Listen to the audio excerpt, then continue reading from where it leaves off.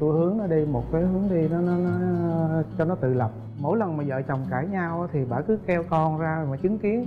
Mà tôi thì tôi rất không muốn chuyện đó. Dạ. À thì giờ này mình cũng nói từ từ từ cho nó hiểu. Nhưng mà em tức quá em anh cho em một ý kiến nha. Anh nè như em thấy anh là có vẻ hơi gia trưởng đúng không? Không gia trưởng. Không gia trưởng tại sao những thành viên sống chung trong nhà mà anh làm gì anh không kể cho người ta không bàn với người ta không Thì kể đó. cho người ta nghe. Vợ anh ok thôi giờ anh nói ly thân rồi em không bàn với vợ con anh giờ sống có hai cha con trong nhà thế sao anh đi, ờ, đi, đi, đi kiếm vợ? Anh không nói cho con nghe trước. Ờ con bữa nay ba đi tham gia chương trình của ờ, cô Cát Tường ấy nha. Chương trình này ba đi tìm bạn ấy nha. Thử coi con mình nói gì. Anh toàn là đoán không à. Ủa nãy giờ em nói vậy chị thấy hợp ý không chị? Hợp. Hợp. Rồi vậy tới quan điểm của chị thì ờ, chị thấy quan điểm của chị tại vì chị dễ lắm tại vì chị sống với ông xã chị thì ông xã chị mất lâu nay rồi chị? 18 năm rồi. Mất 18 năm. Sao chị có một người bạn nữa mà người bạn đó không có hợp. Bạn đó hơi ờ, cũng hơi gia trưởng rồi cũng hơi trùm sò nữa. Nên trước đi à tôi tên là trương văn sơn là 57 tuổi. Dạ. Hiện đang sinh sống và làm việc ở thành phố Hồ Chí Minh. Dạ quê anh sơn ở đâu anh sơn? Quê ở Quảng Nam. À, mình vào trong này à, sống lâu chưa anh? Từ năm 80 thế này còn nhà cửa ngoài không anh? Không. Dạ trong này anh ở quận mấy ở quận Tân Phú. Tân Phú. Dạ, rồi à, hiện tại anh còn đi làm không hay là nghỉ hưu à, rồi? nghỉ hưu rồi. Trước đây anh làm gì? Trước đây mình làm đủ nghề nghề chính là nghề may đào tạo thợ may. À lỡ là mình làm tư nhân hay là công làm ty? tư, tư nhân em. Em chào chị. À, chị giới thiệu về mình đi ạ. Chào các MC Cát Tường. Chào quý vị khán giả. Chào anh Nam bên kia. Mình tên là Nguyệt. Mình ở ờ, Đức Hòa Long An. À, chị Nguyệt à, năm nay bao nhiêu mình tuổi? năm nay 50 tuổi. Chị Nguyệt đang làm công việc gì? Mình bây giờ hiện mình ở nhà nội trợ à. Là cũng nghỉ hưu luôn rồi đó. Đúng trước đây chị có làm công việc gì bên ngoài không? Mình à, buôn bán mình chăn nuôi. Quê gốc của mình là Long An luôn hay ở đâu đất mình Long An luôn. Ờ, điểm mạnh điểm yếu của chị là cái gì nè? Cái gì mình cũng biết làm. Dạ. Điểm yếu của mình thì mình hay lo bao đồng. Lo bao đồng là sao? Cái chuyện gì có ai nhờ mình là mình cũng đều hăng hái mình lo hết. Cái đó gọi là nhiệt tình chứ. Những cái mình lo nó nó nó không có người ta không có đáp lại mà hiện giờ chị biết nó là yếu điểm của chị mà chị đã rút kinh nghiệm được chưa? Được chứ. Là bây giờ ai Tại vì không làm nữa hả chị? cái chuyện gì mình đáng làm mình làm chứ không phải như hồi xưa nữa. Mà hồi nãy chị nói là cái gì chị cũng làm được thì chị điểm qua những cái công việc mà chị đã từng làm cho em ví dụ ở nhà mình chăn nuôi buôn bán. Dạ. Ha muốn bán gì vậy chị? Mình bán thức ăn cho thuốc ăn gia súc là hiện tại giờ mình vẫn vẫn đang còn bán. à Ừ. mình là kiểu đại lý bán lẻ hay là bán cho đại lý hay À, đại lý mình bán cho trại. Mình chăn nuôi là mình nuôi con gì? Mình nuôi con heo. Nuôi heo giờ còn nuôi không chị? À, năm nay dịch bệnh á bệnh năm rồi tới năm nay mình cũng ngưng để mình nuôi luôn sợ- rồi. ngưng. Hồi xưa là nuôi chị đích Ờ, thân nuôi luôn hay là đích thân nuôi mình nuôi rất là nhiều. Bao bây giờ thí dụ như hồi đó là mình nuôi một ngàn con đi thì Dạ. giờ mình nuôi chừng vài chục con vài chục con vài chục con chơi thôi. À, à nhưng mà hồi xưa là nuôi là nuôi, nuôi để bán thôi, để bán á, phải không chị ha? Ngoài chăn heo rồi buôn bán cái gì nữa nè? Nói chung là cái gì mà đàn ông làm được là mình làm được á. Ghê ghê ghê. Để coi nha. Vì chứ em biết có cái đàn ông làm được mà Đúng chị làm không được. Nha tại vì mình không phải là đàn ông. Dạ đúng rồi. Dạ thế còn anh thì sao ạ? À, cái, thì à, nói cũng như gì? bạn gái bên đó thì cái gì làm cũng được. Bên đây mình cũng vậy. À cái gì làm cũng được hết. À. Chỉ ngoại trừ cái là sanh con mình sanh không được thôi. Đó chà cặp đôi này mình mà ra ghép với nhau ai chịu đời cho nổi cái gì cũng làm được À. hết. Nhưng mà mình có điểm yếu gì không? Hay tự- ai đụng chạm tới mình là mình tự ái. Ví dụ như một cái câu chuyện gì đó mà anh đã từng tự ái gần đây nhất. Mình ly dị cũng chính vì chuyện đó. Dạ. Ừ. Chẳng hạn như vợ mình hồi trước ờ, bà cũ rồi xúc phạm dạ. với ờ, mẹ mình. À, à, là mình được cái rụp là mình làm luôn. À. à, chứ không chuyện vợ chồng có thể là mình trao đổi nhau này nọ mình qua lại có qua có lại. Dạ. Chứ còn chuyện người lớn là dứt khoát. À. Không được đụng. Dạ. Ờ, nhân tiện anh đã hỏi thì thì em sẽ hỏi cụ thể luôn ừ. về cái đường tình duyên của mình. Thế là chị với ảnh là là là mình sống với nhau vợ chồng được bao nhiêu năm?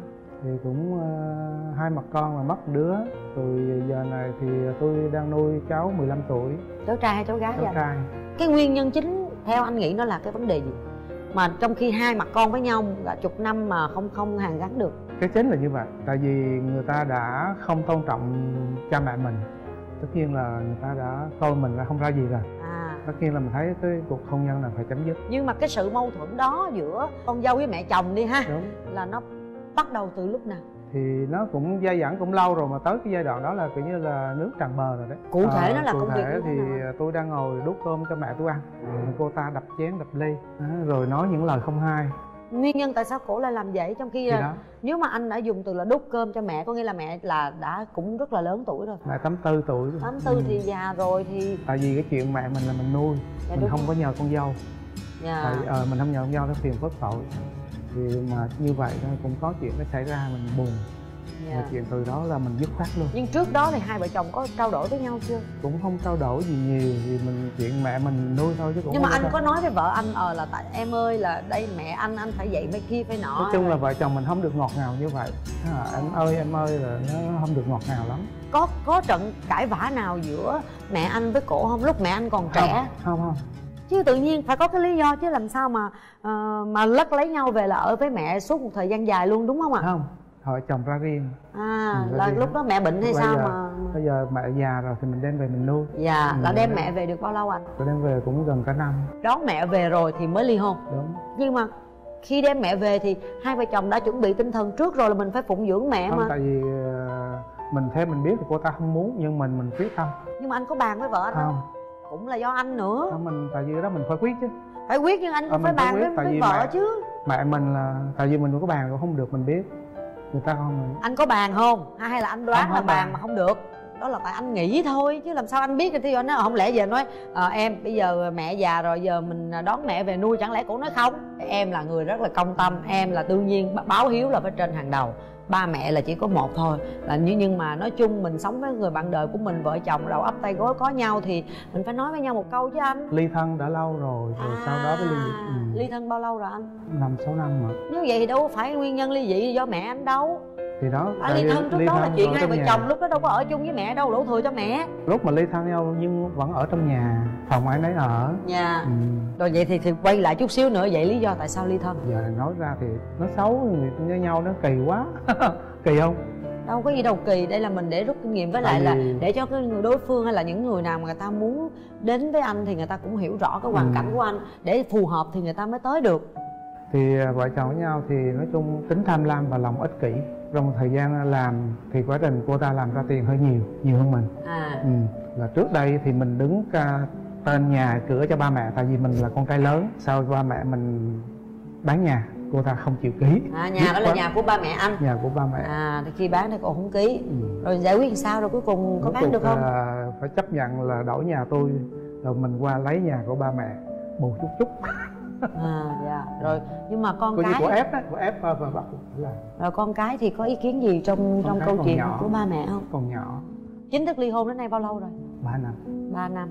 Dạ, thì bây giờ anh vẫn ở sống với con với con con. và với ờ, với ờ, bà? À, mẹ thì cuối cùng sợ mình sợ mẹ buồn mình phải ờ, nói chị hai đón mẹ về. À là hiện giờ mẹ vẫn ở với chị chứ anh không chưa có rước về lại nữa. Đúng rồi. Thật ra thì ờ, mỗi cây mỗi hoa mỗi nhà mỗi cảnh vậy. dạ tường thì cũng không có dám nhận xét hay là khi tại vì tường đâu biết gì rõ đâu. Tường nghĩ rằng vậy nè hai vợ chồng sống với nhau một thời gian đã dài rồi mà mình bất đồng với nhau mình chia sẻ với nhau thì mọi thứ mình phải chia sẻ ngay từ đầu. Chứ để mà mỗi người có những cái nỗi niềm ở trong lòng thì cũng khó sống được chung với nhau. Nhưng mà bây giờ đứa con á là nó biết hôm nay anh tham gia chương trình không? Không rồi ví dụ nó biết là nó có ý kiến gì không? Chắc không đâu.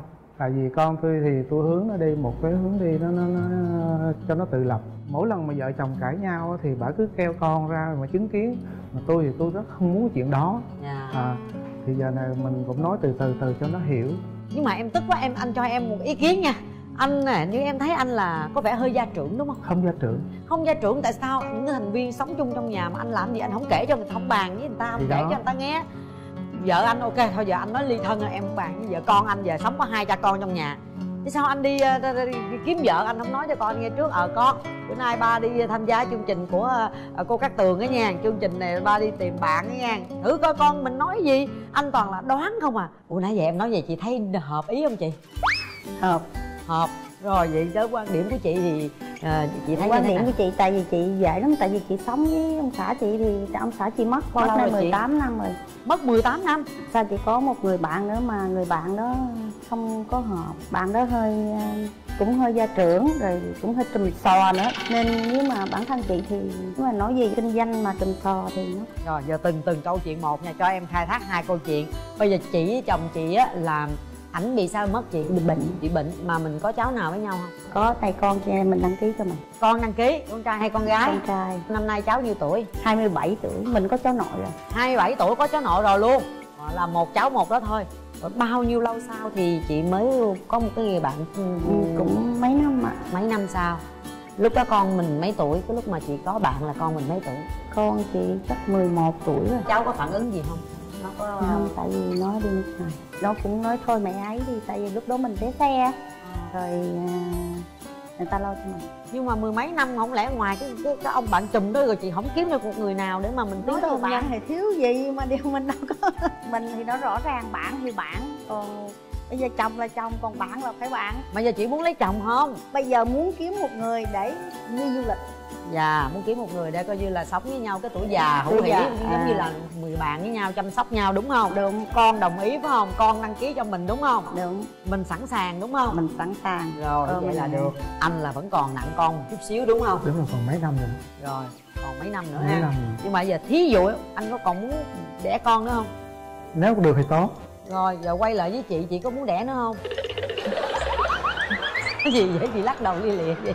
Sao vậy à, nói chung là chị từ nào chị không có thích con. Nghe hả? Không thích con là sao? Thằng con ngồi dưới mà chị la đầu giờ chị không, không thích tại vì buộc là mình phụ nữ là mình phải có con mà một một một đứa vậy thôi được rồi. Mà bây giờ mình già rồi còn đứa đẻ? Còn trứng không? Còn trứng nào mà đẻ? Còn không? Không. Thiệt hả? Thiệt. Tiền mãn kinh mãn kinh rồi hả? Hả? Thiệt.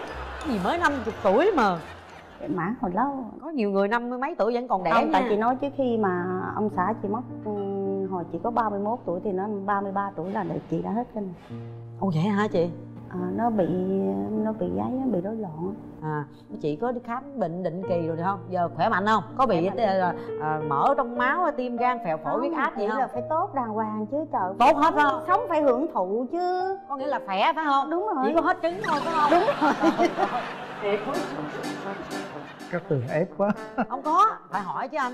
Tại vì ờ, để cho rõ bây giờ chị là không vướng bận gì nữa hết á. Chị chỉ cần kiếm cái người để mà ờ chia sẻ những cái gì đó nó buồn vui trong cuộc sống nhẹ nhàng rồi uh, thích ở đây có thể nay đây mai đó cũng được. Còn không ai ở đâu cũng được nhưng mà nó nhẹ nhàng cuộc sống không phải lo toan này kia nữa. Anh thì nói chung là thật ra con 15 tuổi thì cũng cũng nhẹ rồi cũng ý thức được hết rồi. Nói chung là ráng cho trách nhiệm giống như cho Việt Nam mình thì 18 là trưởng thành thì cũng ráng thêm vài ba năm nữa mà ủa anh cũng nghỉ hưu rồi mà. Nghỉ hưu. Rồi giờ thu nhập chính của anh là thu nhập ở từ từ đâu để ờ, chăm lo trong gia đình? Cho thuê mặt bằng. À cho thêm bạc vậy thì cũng nhàn rồi. Nghĩa là anh chẳng qua là bận đây là có nghĩa là mình phải quản thúc đúng rồi. con cái thôi. Tại vì ờ, đưa nó đón chưa cháu thời gian để đó nó chưa thành niên. Đó thêm vài năm nữa ha. Nhưng bây giờ là nguyện vọng anh muốn tìm một cái người bạn đời như thế nào? Tìm một người biết ờ, lo lắng cho nhau. Giờ này chủ yếu là cái ờ, lo có tuổi già. Dạ. Thì cổ cũng 50 51 rồi mình cũng gần 60 rồi. Bây giờ cô không muốn đẻ nữa đó thì chuyện sao? đó thì không sao tại vì hai bên là cũng có con trai đúng rồi. rồi rồi hợp lý. Đây trong hai anh là có một chị lựa đi. Để em coi chị hình chị coi. Một cô hai cô ba cô bốn cô. Có người này giống bốn chị em quá à. bốn bốn bốn bốn người này là bốn chị em hả chị con của bạn gì ruột? À bạn gì ruột? Hàng chi thấy mặt cũng giống giống nhau thiệt chứ. Anh mình cũng bạn gì ruột đó hai anh em bạn gì ruột? Hai anh em bạn gì ruột luôn á ngàn bên đó đó. Anh cao mét mấy? Anh cơ một mét sáu mươi lăm. Chị chị cao mét mấy? 60 một mét sáu mươi một mét sáu lăm. Lựa đi. Chắc cô đầm màu cam quá. Cô đầm màu cam anh cầm cái hình đó cho em đợi xíu. Rồi chị đoán đi.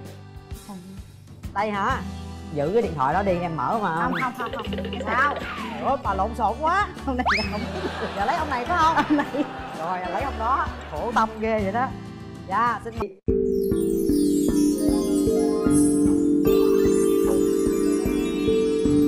đúng. Dạ. chào em. Đúng mở ra đầu tiên đúng liền. Vậy là mình cũng đúng đúng rồi. Dạ. mém xíu thì gã lộn. Rồi đó và tới đây chương trình này anh có lãng hoa tặng em rồi mời hai anh chị ngồi xuống đi ạ. Khi mà cánh cửa trái tim này mở ra thì cảm xúc đầu tiên của anh là như thế nào? Thấy gương mặt của em ấy phúc hậu phải chi nãy giờ anh thấy chị cười đó đó cười nữa cười nữa. Không tôi cũng vui lắm. Tôi Ừ. hay cười cũng téo téo lắm. Dạ em thấy chị này là vui á em thấy là vui nhà vui cửa rồi đó. Ủa mà nhà mình hiện giờ là có trồng triết ờ, cái gì ăn trái ăn đồ gì không chị? Có trồng mà ít à. Nhà phố hay là nhà quê rộng rãi? Chị đang ở quê á nhà rộng lắm. Nhà rộng ở sao cho hết? Mới có à, nhà chị chỉ chừng à, hai ngàn mấy mét hai ngàn mấy mét là xây cái nhà á hả? Hay là cái không xây cái đất nhà đất á. xây cái nhà thì à, bữa sơn nhà chắc ba ba trăm mấy nữa. dạ là giờ ở hai mẹ con thôi đó. Ở hai cái nhà gần nhau con ở cái mẹ ở cái. Mà mẹ ở một mình. Ừ. rồi hiểu rồi. Thôi được rồi để cho hai anh chị ấy tự tìm hiểu nhau đi. Mình ngồi đây dư thừa quá. Mời anh chị thưởng thức một chút ờ, món ăn nha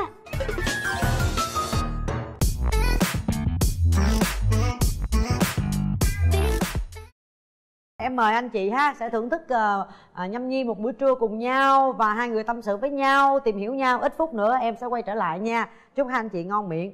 Tự nhiên nha anh hỏi gì hỏi đi nha. Em thấy anh sao? Thấy anh cũng hiền mà điều à, nói chung là nãy giờ em ngồi bên đây mà em nghe cái cái hoàn cảnh của anh á thì em cũng không biết như thế nào tại vì khi mà anh đăng ký cái thứ nhất anh không có nói với con anh. Rồi cái thứ hai thì anh còn dướng mẹ anh rồi này kia mà cái chuyện đó em cũng không có quan trọng lắm. Tại em thì cha mẹ mất sớm lắm. Nói chung thì con anh thì à, nãy nói như các tường anh không thông báo với nó thì cũng à, có lý do. Thì muốn cho nó để cho nó tập trung nó học không có suy nghĩ. Thì trước khi đi về cũng vậy. Như con em khi mà nó chưa có gia đình á thì nó không bao giờ nó muốn cho em bước thêm một bước nữa ừ. còn khi nó có gia đình rồi á thì nó mới biết thông cảm Đúng được nó vấn đề hiểu. đó nên nó Ừ, hiểu được vấn đề nó đó. nên tại sao mà em ở tới bây giờ này? Đó là vấn đề của con mà à, anh biết rồi mà về sống chung mà con cái nó không vui thì nó cũng không có mấy gì mà để đó. thì theo em nói thì con anh cũng giống như vậy đó. Thì nó cũng giờ này nó còn nhỏ mình không cho nó biết. À, giờ mình cứ tự do. Rồi mình đi à, tìm một cái cái tương lai cho mình hôm nay em đi mình là đi với ai? Em đi với con em. Tại thấy em vậy chứ em cũng còn mê chơi. Mê chơi nữa hả? Mê chơi em mê đi du lịch lắm. Tại nay mùa dịch chứ không mùa dịch là em em đi được những đâu rồi? đi ở Việt Nam này em đi không có thiếu cái chỗ nào. Ừ. còn nước ngoài thì đi không biết bao nhiêu nước rồi. Nói chung là em cũng đi du lịch ghê lắm. Thế còn à, cuộc sống của anh á, thì giờ này 60 rồi nhưng quăng ở đâu anh sống cũng được. Anh ở thành phố nhưng anh nghiên cứu rất nhiều về vấn đề chăn nuôi. Cái chăn nuôi này nó cũng bấp bênh lắm anh. Từ hồi nào giờ là em nuôi nó nhiều á, mà hồi năm rồi á, là heo nó bị dịch á, em phải thu gọn, em phải thu lại chứ em không dám ra nữa không nếu mà chăn nuôi thì nó tốn nhất là vấn đề thức ăn. Nhưng mình tạo được thức ăn cho nó thì mình có lại. Một mình em làm sao mà tạo thức ăn được? Em là dưới Không, hợp đồng với giờ mình lớn rồi mình làm cái đầu chứ em. Mình làm tay chân nữa sao mình không nổi ừ, cái khả năng của em nó có giới hạn. Một mình em làm phải 10 người ta làm chưa lại em thì cái khả năng em trên nữa thì ông em không thể nào em làm nổi. Nên làm tới đó là thôi mà bây giờ này em cũng là em giao hết. Em làm đi được mới được. Rồi bây giờ hưởng thụ đúng rồi bây giờ hưởng thụ rồi. À, hai người này ủng hộ ghê tình yêu không không tính tính chuyện chăn nuôi chứ gì bàn chuyện chăn nuôi làm gì? Bàn cái chuyện ờ mình ờ, chừng mình quen nhau rồi sao mình tìm À. hiểu bằng cách nào rồi mình mới mốt mình đi đâu chơi đồ hay gì? Nuôi gì nữa trời ơi thôi giờ nghỉ làm rồi đừng bắt ta làm nữa. Ai bắt làm? Cái này là mình nói nhau như vậy. Dạ còn giờ giao cho thì, đứa con ờ, cái nó làm đi. À, mời con trai chỉ vô nha để hỏi chuyện coi sao nha Trên hành trình theo đuổi đam mê Tôi chọn cách đối mặt với thử thách bằng năng lượng tích cực. Red Bull năng lượng tích cực hút tung thách thức. Ờ chào con con năm nay nhiêu tuổi? Dạ, à, con chào chú, con chào cô Cát Tường, con Ờ. chào quý vị khán giả. Con tên Linh, con là con mẹ Nguyệt, thì năm nay con 27 tuổi. Ờ, con lấy vợ hồi nào? Dạ, Con lấy vợ nay được 3 năm rồi. Ờ con lấy vợ sớm vậy con Nói chung là cuộc vui nào cũng có điểm dần Thì con thấy 3 năm trước thì con tới điểm dần rồi nên con lấy vợ. À, tôi tưởng con nói cuộc vui nào rồi cũng tàn. Chứ rồi lấy lúc đó là mình đi nước ngoài về rồi mình lấy hay là mình lấy ờ, Dạ, con đi nước ngoài về xong con mới lấy vợ. À rồi giờ là con làm công việc gì? Hiện tại là con đang làm cho một công ty của nước ngoài. Nhưng mà nãy là mẹ nói con đăng ký cho mẹ tham gia chương trình này thì ờ, lý do gì mà con ờ, con đăng ký cho mẹ? Dạ, tại vì ờ, giờ mẹ cũng nuôi con đã nửa cuộc đời rồi Thì bây giờ mẹ ở mình Nên con muốn tìm một người cho mẹ để mẹ có người bầu bạn ừ. dạ, Chủ yếu là để mẹ được đi du lịch. Ừ. chứ giờ con mắc đi với vợ con chứ con đâu đi với mẹ được đâu đúng không? Dạ tại một phần do công việc của con nó cũng khó đi chơi lắm. Con nhận xét chú làm sao? Đó. Dạ à, nhận xét thì con không dám nhận xét. Nhưng mà con có một số à, điều muốn à, bài với chú là thứ nhất là quan điểm giữa chú với mẹ thì có một số quan điểm là nó chưa hợp nhau lắm. Ví Dạ. dụ ví dụ cụ thể con ví dụ như cái những cái vấn đề mà chia sẻ với vợ ờ, trước của chú á thì không chia sẻ như vậy thì con thấy không được. Vậy là con hợp với cái ý của cô tường phải không? Dạ đúng rồi. Nãy con ngồi với con cười quá trời luôn. À có nghĩa là mình gì phải chia sẻ với nhau đúng dạ không đúng con? rồi. Tại vì sống chung nhà mình không chia sẻ vậy á mà khi mà cái vấn đề đó xảy ra rồi á thì nó sẽ không còn gọi là mình sống chung nhau nữa mà nó sẽ có một cái khoảng cách. Nhưng mà một cái khoảng cách thì nó gần nhưng mà 10 cái khoảng cách như vậy thì nó xa. Thằng chú cũng có kinh nghiệm sâu sắc con rồi con không con nói chú hiểu. Trong hoàn cảnh hai người một khi nó đã không hòa hợp rồi khó lắm con. Dạ. khó nói chuyện với nhau lắm. Còn cái chuyện mình hòa hợp với nhau rồi mình vui vẻ hàng ngày rồi mình trao đổi với nhau cơm nước với nhau cùng ăn hàng ngày thì cái chuyện đó nó dễ dàng đó con. Không có gì khó hết. Dạ. À còn một khi nó đã chổi rồi thì khó lắm Đâu, lúc đầu à. cô Dạ. tường cũng tưởng như vậy ra sống mà không chia sẻ nhưng mà sao cô nghe? Tại đã ly hôn trước đó nhiều rồi. Cho nên thì cái chuyện ờ, ở trong nhà mạnh ai nấy làm thì cũng chuyện bình thường. Thì trước cái khoản ly hôn đó thì tại mình cũng có khoảng cách rồi mình mới dẫn đến ly hôn. Cái rồi đó xa quá cô không đào tao sâu vô tới nữa. Dạ còn gì thì nữa không con? dạ thì ờ, cái điều thứ hai á là mẹ con rất thích đi du lịch. Ừ. thì con thấy công việc của chú á, thì nó cũng không có mất thời gian. Thì nếu mà được á, thì à, chú có thể đi du lịch với mẹ. Ok. dạ. Thì con chỉ có y vậy thôi còn như mà ví dụ như nhà lầu xe hơi thì có thì càng vui còn không có thì cũng không sao. Nhưng mà giờ chú là còn có ờ, con trai luôn đúng không à? Trai. chú còn ha con trai mới 15 tuổi à. Rồi Dạ. bây giờ chú bỏ chú đi với mẹ là con phụ lo cho thằng em mới được không? Dạ nếu mà được như vậy thì con vẫn lo được bình đó thường. trời ơi quá dễ thương luôn. Nói vậy thôi chứ ờ, con trai thì tấm lòng với mẹ như vậy ha là quá quý rồi giống như cô với con cũng là người ngoài thôi con Dạ. ngoài ngoài cuộc cái câu chuyện tình Dạ. của người ta thì cô với con mình ngồi ở ngoài mình thấy có ý kiến gì sáng rồi mình chia sẻ nhưng mà cái quan trọng chính vẫn là hai cái nhân vật này Dạ. họ ngồi họ có cái gu họ phải nhau không họ nhìn họ có vừa con mắt nhau không đúng không con? Dạ. Bây giờ họ không vừa mình nói cũng không được mà họ đã vừa mình bàn ra cũng không được đúng không con? Dạ đúng rồi. Rồi thôi giờ con nói gì câu với mẹ chúc mẹ gì đi rồi à, rồi mình coi ra để coi tiếp thì à, con nói với mẹ chú à, với chú một câu là thí dụ như hai người có thể thay đổi được quan điểm thì cho nhau một cơ hội. Rồi. Dạ. Rồi cảm ơn con trai nha. À, cảm ơn con nhiều. Dạ. Rồi đó con trai nói quá rõ ràng quá mạch lạc rồi. Thì đó. dù sao nữa con nó cũng có gia đình rồi nó hiểu. Hiểu rồi hiểu được đó. rất là thương mẹ à, con trai thì ít có bài về tỏ tình cảm với mẹ nhưng mà khi con nói vậy là con cũng rất là tâm huyết. Rồi ăn thua cũng là bậc làm cha làm mẹ. Thì bây giờ em cũng chia sẻ lại quan điểm của em là mình lớn hết rồi tự mình quyết định. Ở đây thì chương trình hay các tường cũng chỉ cho anh chị cái cơ hội gặp nhau thôi. À, chứ muôn vàng muôn vàng con người làm sao mình có cái duyên gặp nhau được. Hai anh chị đã là người trưởng thành người đã từng gãy đổ trong hôn nhân người cũng đã mất mát trong cuộc sống đủ thứ hết thì mình tự hiểu là mình muốn cái gì. Nếu cảm thấy được thì mình cho nhau cơ hội mình tìm hiểu thử. Còn mình cảm thấy không được thì thôi, cái đó cũng quyền của anh chị nha. Trước khi bấm nút, anh còn muốn nói điều gì với ờ, chị? Rồi, em mời hai anh chị. Anh nói trước, chị nói sau. Hôm nay tới đây, chắc cũng là một cái cơ duyên thì mình đăng ký với nhau, bao nhiêu cả ngàn cả ngàn người. Đây là cũng một cái cơ hội tốt. Thì anh nghĩ đây ờ, mình cứ cho nhau một cơ hội, mình tìm hiểu nhau.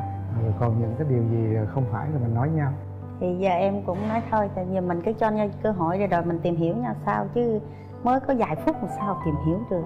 Dạ. Mình sống nhau mấy chục năm còn phải ly dị mà. Dạ đúng rồi sống mấy năm còn ly dị. Đúng rồi nếu mà anh thua là mình thấy mình được thì mình cứ cho cơ hội thôi. Quyền của anh chị nha. Sau 3 tiếng đếm một các tường nếu mà mình đồng ý mình muốn cho nhau dạ mình đồng ý mình muốn hẹn hò với nhau thì mình bấm mạnh vào cái nút đó. Còn mình cảm thấy ờ không có duyên hay là người này không phải đối tượng mà tôi tìm kiếm thì mình có quyền lấy tay ra dạ em mời hai anh chị nhắm mắt lại ạ. Một hai ba. Hết thời gian. Rồi em mời hai anh chị đứng lên ạ. Trước tiên là em gửi tặng chị ờ, một món quà của chương trình để làm đẹp ha. Là bộ son Yurika đến từ Nhật Bản với chất son lì không chì mang nhiều màu sắc trẻ trung phù hợp với mọi cá tính sẽ giúp cho bạn tự tin nổi bật trong mọi ánh nhìn. Thời gian đi du lịch đánh son tô son điểm phấn cho nó đẹp bây giờ nắm tay nhau anh thấy sao anh? Rung rung. Rung rung mấy chục năm. Rồi chị cảm nhận sao chị? Chỉ bình thường. Chưa có biến điện nào hết trơn hả chị? Rất bình thường thôi có gì đâu có điện. À, bây giờ chị mới bình thường. Anh làm sao cho chị có điện? Bây giờ anh xin phép chị cho hung má chị một cái. Thôi. Hung một miếng đi. Không Để, ờ, lúc khác thì thường.